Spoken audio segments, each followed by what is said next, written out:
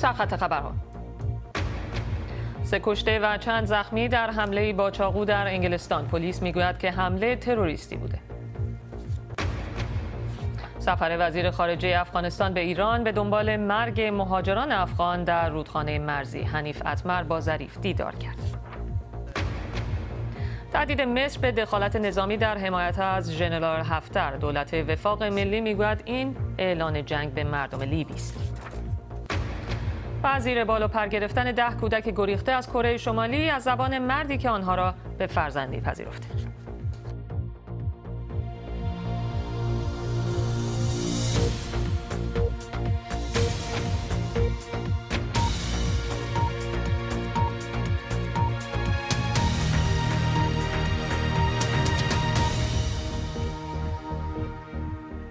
سلام عصر یک شنبهتون بخیر. خوش اومدید به این بخش خبری 21 ژوئن برابر با یک تیر با من پریزاده نوبخت.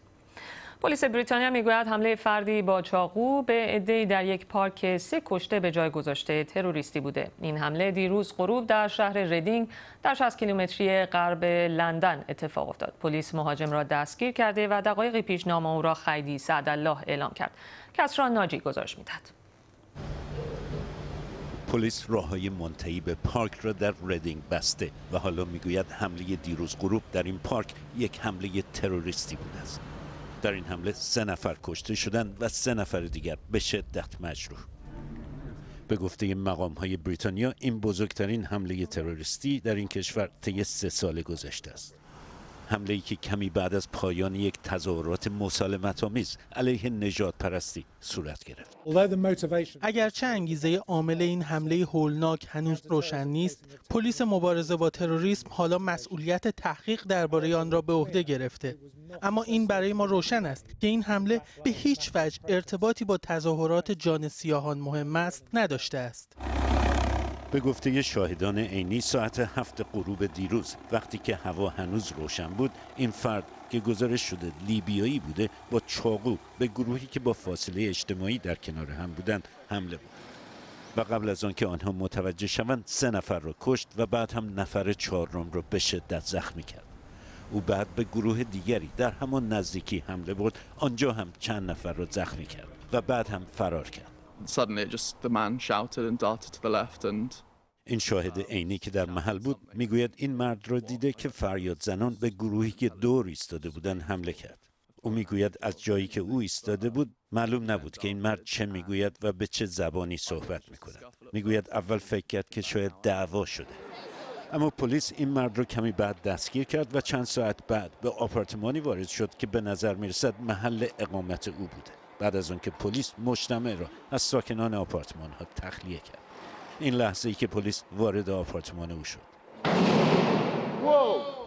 این تصاویر محل وقوع حمله های دیروز غروب.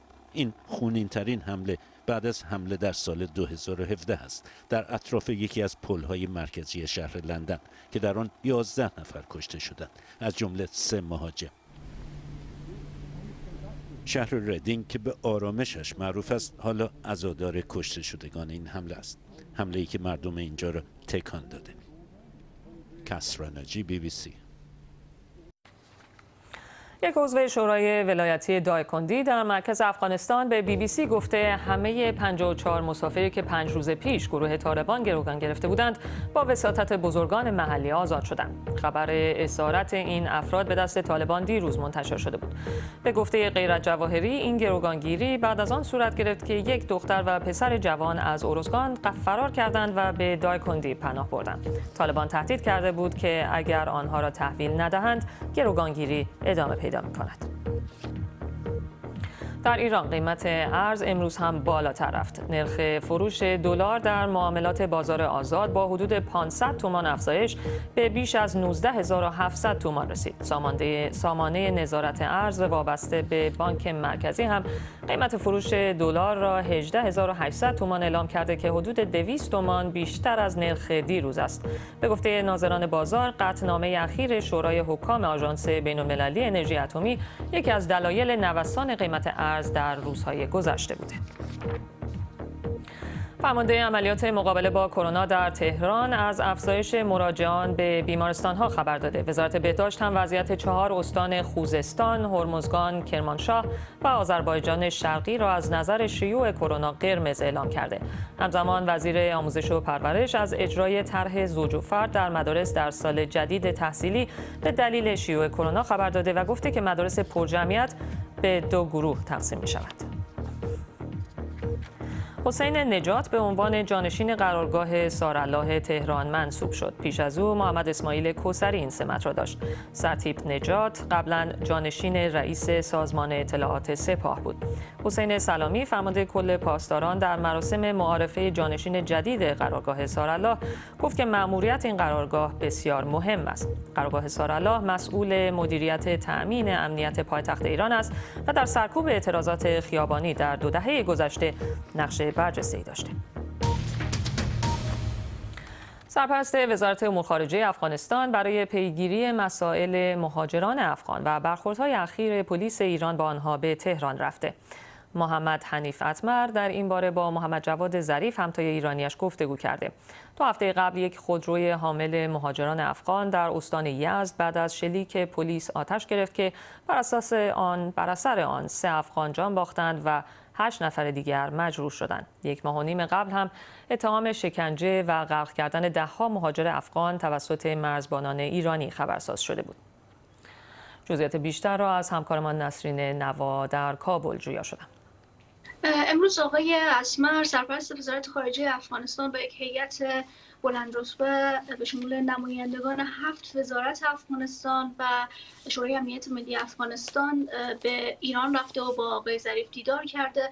وزارت خارجه افغانستان اعلام کرده که در این دیدار تفاهمی صورت گرفته که بحث بین کمیته های مشترک هر دو, دو کشور در مورد دو حادثه اخیر برای مهاجران افغان در ایران ادامه پیدا بکنه تا اینکه بالاخره عاملین این اتفاق شناسایی بشن و بعدش سعی بکنن با راهکارهای بعدی از تکرار چنین حوادثی جلوگیری بکنن. در کنار این گفته شده که در مورد موضوعات کلیتری مثل همکاری های همه جانبه بین دو کشور هم صحبت شده ولی مشخصا در مورد دو حادثه اخیر آتش گرفتن خودروی مهاجران افغان و همچنین به آب انداختن مهاجران افغان در هریرود صحبت ها قبلا هم انجام شده بود. در یک ماه گذشته یک بار مقامات دیپلماتیک ایران وارد کابل شدن و با وزارت وزیر خارجه افغانستان دیدار داشتن.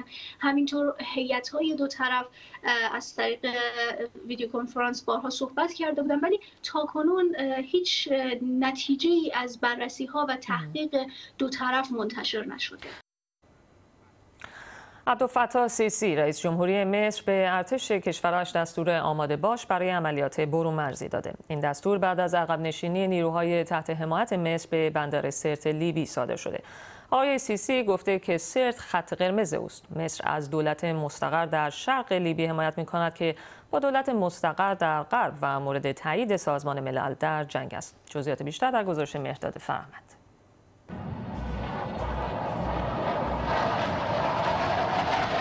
ارتش بود سیسی که همین دو هفته پیش ندای آتش بس در لیبی سر داده بود حالا سپاه رزم آراسته.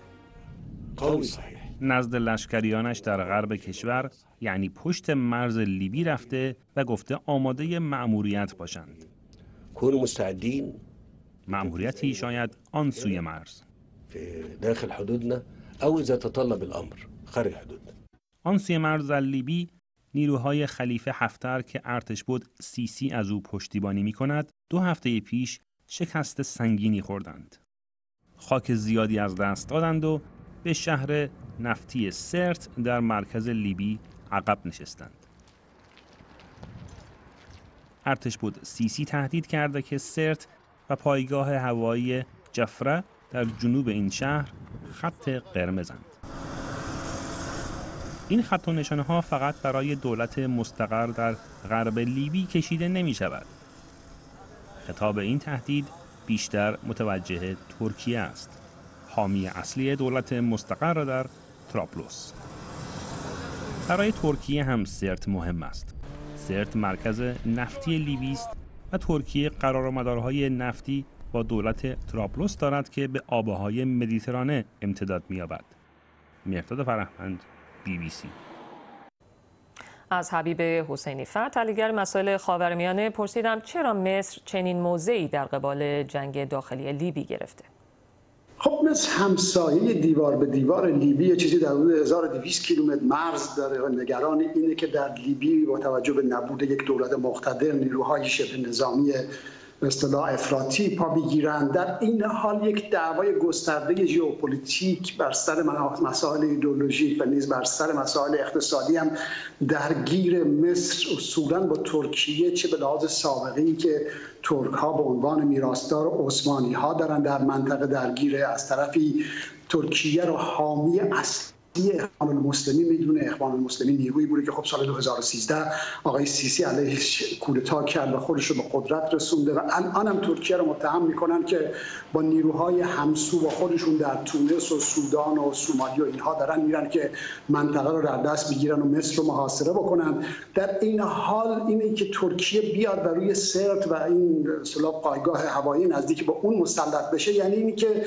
بیش از پیش روی مدیترانه حوزه های رفت آمد کشتی ها و به خصوص خط لوله های گاز بزرگی که داره ایجاد میشه تسلط پیدا می‌کنه و اینها همه هیچ کدوم به نفع مصر نیستش. و همین خاطر خب حمایتی که جهان عرب داره اینه که دو هفته پیش هم تلاش کرد با هفتر و برخی از نیروهای دیگه نزدیک به هفتر یک مثلا بیانیه صلح بدن پیشنهاد آتش بس بدن با توجه به عقب نشینی که داشت هفتر می‌کرد. اینها هم از طرف دولت آقای سراج و ترکیه مورد قبول واقع نشده. امروز رفته مصر به طرف تهدید نظامی.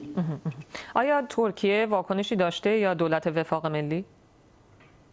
بله هر دوشون واکنششون دادن که مثلا مصر داره بر تبل جنگ میکوبه و ما تا موقعی که سرت و مثلا پایگاه جفره از دست آقای اصطلاح هفتر بیرون نیاد آماده مذاکره و به اصطلاح آتش بس نیستیم. خب برای مصر و برای نیروهای آقای هفتر هم مهمه که اگر این مناطق رو از دست بدند هم ترکیه و دولت سراج نه تنها مسئله دریای مدیترانه رو بیش از پیش مسلط میشن بلکه نفوذ و تسلط بر منابع بزرگ انرژی داخل لیبی هم از طریق این شهر سرت و اون پایگاه خیلی آسونتر خواهد بود و دیگه امکان آنچنانی برای چونه زدن در مذاکرات صلح برای هفتر و مصر باقی نمیمونه.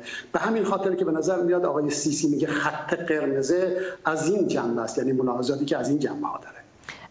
آقای حسینی فرق میشه خیلی کوتاه. با توجه به اینکه جامعه جهانی خب از دولت وفاق ملی حمایت می‌کنه از طرف دیگه یک کسانی هستن حامیان مهمی مثل روسیه و امارات و مصر از جنرال هفتر. چقدر احتمالش هست که این درگیری ها فیصله پیدا بکنه؟ به نظر میاد که جنگ لیبی عین وضعیت سوریه شاید بدتر از سوریه با توجه می‌دونید که تاریخ لیبی اصولا یک تاریخیه که دو بخش شرق و غربش به سختی ایتالیا تونستن متحدش بکنن و ازش کشور بسازن.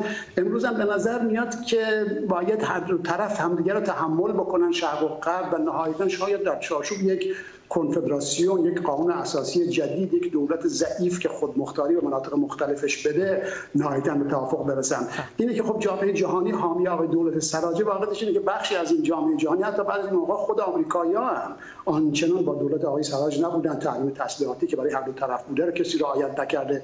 به نظر میاد که جنگ قدرت جنگ نیابتی در این کشور تا مدتی ادامه خواهد کرد ادامه خواهد یافت تا اینکه هر دو طرف به این نتیجه برسن که راه حل نظامی به کارساز نیست. به یک نتیجه بر سر تعیین حقوق و قانون اساسی جدید برسند. نگاهی دوباره به مهمترین عناوین خبری این برنامه. در حمله یک مهاجم با چاقو در شهری در جنوب انگلستان سه نفر کشته و چند نفر زخمی شدند. پلیس حمله را تروریستی خوانده. سرپرست وزارت خارجه افغانستان به تهران رفته تا در دیدار با همتای ایرانیش موضوع نحوه رفتار با مهاجران افغان در ایران را بررسی کند. در ادامه این برنامه تجربه زیر پروبال گرفتن ده کودک گریخته از کره شمالی از زبان مردی که آنها را به فرزندی پذیرفته. دونالد ترامپ رئیس جمهوری آمریکا دادستانی را اخراج کرده که پرونده تخلفات بعضی از نزدیکان او را بررسی می‌کرد. جفری برمن دادستان منطقه جنوبی نیویورک بود. او پیشتر مایکل کوهن وکیل سابق آقای ترامپ را به زندان انداخته بود و درباره رودی جولیانی وکیل فعلی او هم تحقیق می‌کرد. خبرنگارمان سام فرزانه از واشنگتن با ماست سام اگر میشه اول توضیح بده که آقای به من دقیقا چه می‌کرده که تصمیم گرفتند او را عرض کنم با توجه به اینکه خودش گفته بود که استعفا نکرده. همینطور آقای برمن در حال تحقیق درباره رودی جولیانی بود. تحقیق می‌کردن که آیا او ثبت کرده بود. در واقع ثبت کارهایی که داره می‌کنه از طرف دولت‌های دیگه از طرف کشورهای دیگه به عنوان لابی در ایالات متحده آیا اونها رو ثبت کرده بود یا نه؟ که اگر نکرده بود اون وقت و تشخیص داده می‌شد که این کارها لابی هستند. اون وقت او دچار تخلفی شده بود که باید بهای اون رو هم میپرداخت. این تحقیقات ادامه داشت و تا زمانی که آقای برمن رو تصمیم می‌گیرن که کنار بگذارن. روز جمعه ماجرا این بوده که وزیر دادگستری به نیویورک رفته بود با او صحبت کرده بود و اینطور بعد از اون یک بیانیه میده و وزیر دادگستری اعلام می‌کنه که آقای برمن می‌خواد از سمت خودش کناره گیری بکنه. بلا فاصله آقای برمن بیانیه خودش رو منتشر می‌کنه و اونجا میگه که نه من چنین قصدی ندارم خیلی هم کارم رو دوست دارم می‌خوام سر جای خودم بمونم و میگه که به دلیل اینکه با شرایط خاصی او به این سمت دادستانی رسیده توی شرایط خاصی هم کسانی می‌تونن او رو اخراجش بکنن. در واقع او رو رئیس جمهور به عنوان سرپرست موقت انتخاب کرده بود. اما بعد قاضی های فدرال بودند که او رو در این سمت ابقا کردند و آقای برمن مدت ها بود می‌گفته که اگر رئیس جمهور خوشش نمیاد یا وزیر دادگستری از من خوشش نمیاد اونها باید یک نفر رو برای تصدی این پست به سنا معرفی بکنن و بعد که سنا او رو تصویب کرد اون موقع بره و توی این پست بشینه و این کار رو انجام بده. متشکرم. از اسام فرزانه خبرنگار ما از آمریکا با ما. گرتا تونبرگ نوجوان فعال اقلیمی که پارسال با رهبری جنبشی جهانی درباره خطر گرمتر شدن زمین به شهرت رسید در گفتگویی با بی بی سی از زندگیش بعد از بحران کرونا گفته. او در این مصاحبه می‌گوید بحران اقلیمی و گرمتر شدن زمین به اندازه بحران کرونا خطرناک است و باید برای آن چاره ای اندیشید. جزئیات بیشتر در گزارشی از سیاوش اردلان. این اولین مصاحبه بی بی سی با گرتا تونبرگ بعد از خانه نشینی او در جریان بحران کرونا است. گرتا تونبرگ سال گذشته جنبشی جهانی را برای اعتراض به کوتاهی دولتها در مقابله با خطر گرمتر شدن زمین به راه انداخت. خانه نشینی چند ماه اخیر به او فرصتی داده تا به رابطه میان بحران گرمتر شدن کره زمین و بحران کرونا فکر کند. دولت ها میگن ما هر کاری برای مقابله با بحران کرونا انجام میدیم چون جان انسان ها با ارزشتر از هر چیز دیگه ایه. وقتی با این منطق به بحران گرمتر شدن زمین هم فکر کنیم اون موقع خیلی چیزها عوض میشه. گرتا تونبرگ در عین حال اعتراضات ضد نجات پرستی در آمریکا و اروپا را دنبال کرده و این حرکت را یک نهضت بیداری می‌بیند. نهضتی برای رسیدن به عدالت اجتماعی در کنار عدالت اقلیمی. یه نبرد برای عدالت. به نظر می‌رسه ما از یک آستانه اجتماعی عبور کردیم و مردم متوجه شدن که نمی‌تونیم چشممون رو به روی معضلات این دنیا مثل نبود عدالت اجتماعی و عدالت اقلیمی ببندیم. عدالت اقلیمی یکی از شعارهای جنبش مقابله با گرمتر شدن زمین است. کشورهای توسعه یافته و پیشرفته نقش بیشتری در گرمتر شدن زمین داشتند. چون اقتصادهای آنها دیوکسید کربن بیشتری وارد جو زمین کرده که عامل گرمایش زمین است. ولی بیشترین آسیب از گرمتر شدن زمین را قشرهای محروم و کشورهای فقیرتر دیدند. گرتا تونبرگ پیش از این هم گفته بود کشورهای توسعه یافته باید مسئولیت خود را بپذیرند و به کشورهای محرومتر کمک کنند تا آنها هم با انرژی های پاک و غیر آلاینده به توسعه برسند. او برای رساندن این پیام دست به سفری نمادین بین قاره زد بدون سوخت فسیلی و تنها با کمک انرژی های پاک. مردم دارن میمیرن. شما تنها چیزی که برای گفتن دارید پول و پول و قصه های رشد ابدی اقتصادی. شرم بر شما. و سپس این سخنرانی تاریخی و احساسی در سازمان ملل که باعث شد تصویر چهره گریان و براشفته او اولین آشنایی خیلی ها با گرتا تونبرگ باشد. این حالت چهره برای خیلی ها دافعه داشت. اما در این حال حرکتی را به راه انداخت که شاهد تظاهرات همزمان 6 میلیون نفر در سراسر دنیا علیه کمکاری دولت ها در مقابله با گرمتر شدن زمین بود. گرتا تونبرگ می‌گوید خیلی از مخالفان بدون توجه به محتوای حرفهایش با نفرت و فحاشی و تهدید به او و خانوادهش حمله کردند. خیلی از مردم دوست ندارن به حرفای من که تکرار حرفای دانشمندان درباره خطرات پیش روست گوش بدن. بنابراین سعی می‌کنن منو به سکوت وادارن. این حملات خیلی منو اذیت نمی‌کنه ولی بیشتر برای خانوادم ناراحتم. گرتا تونبرگ به اوتیزم مبتلاست. خیلی ها این را دستمایه تمسخر و انتقادهای بیشتر از او قرار دادند. ولی او می‌گوید اوتیزم نقطه قوتش است نه نقطه ضعفش. اوتیسم من باعث شده دنیا رو متفاوت ببینم. وقتی به بحران اقلیمی و گرمتر شدن زمین فکر می‌کنم اینطور نیستم که مثل بقیه بگم وای چقدر بد بعد به کارم ادامه بدم. داستان گرتا تونبرگ از اینجا شروع شد. تحسنی تک نفره در مقابل پارلمان کشورش سوئد. خودش می‌گوید چون به خاطر اوتیسم مشکل معاشرت با دیگران داشت و نمی‌توانست مثل بقیه راجع به مسائل بی اهمیت حرف بزند تصمیم گرفت تنها اقدام کند او حالا مشتاق است به مدرسه بازگردد چند ماه پیش جایزه 100 هزار دلاری از طرف یک نهاد مبارزه با فقر را به سازمان ملل در راه مبارزه با بحران کرونا اعطا کرد. او می‌گوید فعلا مهمترین چیز برایش آموختن و ادامه فعالیت در کارزار جهانی نجات زمین است. سیاوش اردلان بی بی سی پلیس شهر اشتوتگارت آلمان از درگیری با صدها نفر از جوانانی خبر داده که در مرکز این شهر به چند فروشگاه حمله کردند. به گفته پلیس شیشه های بسیاری از فروشگاه ها شکسته و تصاویر منتشر شده در شبکه های اجتماعی هم از حمله متعدد به نیروهای پلیس حکایت دارد. دلیل حمله آنها هنوز مشخص نیست اما به نظر می رسد که انگیزه سیاسی نداشتند. دانشمندانی که در حال ترسیم نقشه کامل کف اقیانوس‌ها هستند می‌گویند تا به حال یک پنجم کل مساحت آنها را نقشه برداری کردند. به گفته آنها شکل و عمق کف اقیانوس‌ها نسبت به سطح سیاره‌هایی مانند مریخ و زهره کمتر شناخته شده است. هدف این پروژه تحقیقاتی درک بهتر شرایط اقیانوس‌ها و تاثیر آنها بر تغییرات اقلیمی است. بسیاری از پدر و مادرها در سراسر جهان با تعطیلی مدارس مجبورند خودشان در خانه به بچه هایشان آموزش بدهند. بعضی برای این کار از مواد درسی آنلاین استفاده می کنند. اما مردی در کره جنوبی چالش دیگری هم دارد. کیم تاهون سرپرستی ده کودک را که از کره شمالی فرار کردند به عهده گرفته. بیشتر آنها با کامپیوتر و اینترنت آشنایی زیادی ندارند. تجربه آموزش این کودکان را از زبان خود او بشنویم. سلام. اسمم کیم تاهونه و در کره جنوبی زندگی می کنم 15 ساله که با ده کودک اهل کره شمالی زندگی می کنم 2500 کودک فراری از کره شمالی در اینجا زندگی می کنم بیشتر این بچه ها خودشون به اینجا اومدن. پدر و مادرشون امیدوارن که اونها زندگی بهتری در کره جنوبی داشته باشن. اونا معمولا با کمک دلال ها به اینجا میان. خیلی هاشون رو کول می‌کنن تا اینجا. خیلی از این بچه ها تنها به اینجا میان. خیلی هاشون 6 7 سال بیشتر سن ندارن.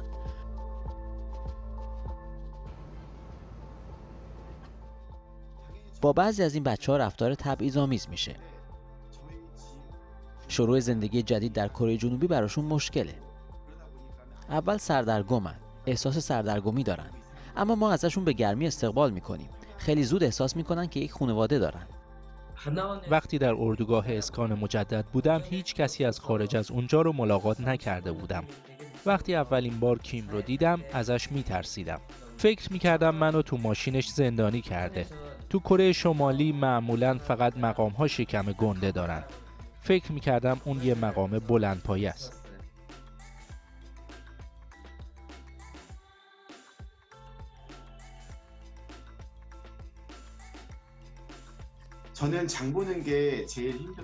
تو دوران قرنطینه مشکل تر از همه خرید غذاست.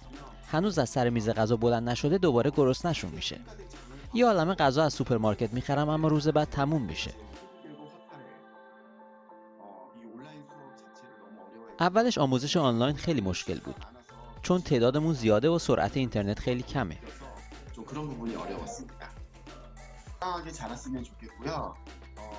امیدوارم با اینکه با خانواده خودشون نیستن بتونن دوران کودکی شادی داشته باشن و احساس درماندگی نکنن.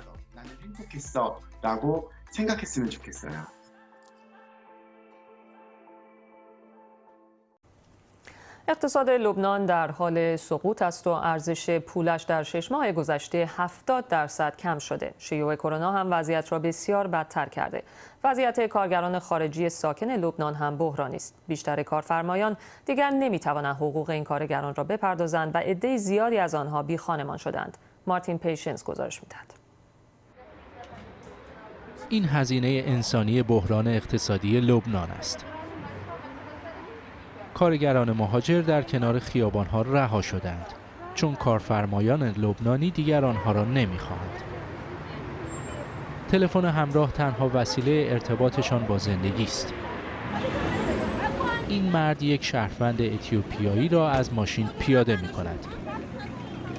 اما نگاه کنید. با شدت گرفتن تنش دست به اسلحه می‌برد. و این یک کارگر دیگر که اینجا رها می شود. گروه های مدافع حقوق بشر این را بردهداری مدرن می نامند. بعضی از کارگران تحملش را ندارند. به ما گفته شد که دست کم شش نفر از کارگرانی که اینجا رها شدهاند مشکلات روحی جدی دارند.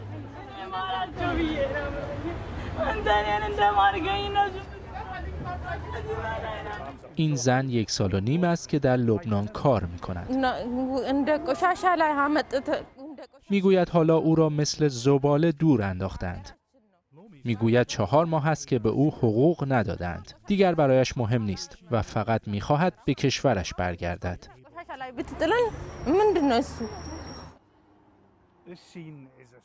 این صحنه ها شمه ای از اون چیزیه که در خاور میانه میگذره. میلیون ها کارگر مهاجر در قرنطینه هستند. مثل اینجا لبنان اونها رو به حال خودشون رها کردن. تیگیس نظافتچی اتیوپیایی است. بعد از پایان کارش برای کمک به جلوی سفارت آمده. می‌گوید تمام این زنها می‌خواهند به خانهشان بازگردند اما فعلا فرودگاه تعطیل است. باید تا باز شدن فرودگاه آنها را در خانه هایی که کار می کردند نگه دارند. می‌گوید سفارت پناهگاه دارد و نمی‌داند چرا آن را باز نمی کند. بیشتر کارگران را حالا از جلوی سفارت جابجا جا کردند. دولت لبنان می‌گوید با توجه به بحران اقتصادی هر کاری که می‌تواند انجام می‌دهد. ما وقتی متوجه میشیم که عدهای کارگر اتیوپیایی جلوی سفارتن با هماهنگی کنسولگری عدهای از اونها رو برای دو روز به یک هتل می‌بریم و بعد اونها رو به یک پناهگاه منتقل می‌کنیم. مشکل نجات پرستی در کشورهای زیادی وجود دارد. در لبنان کارگران مهاجر به طور علنی ترد می شوند. آنها نمی‌دانند کی می توانند به خانه هایشان برگردند. Martin Patience, BBC News, Beirut. به پایان این بخش خبری رسیدیم ممنونم از همراهی شما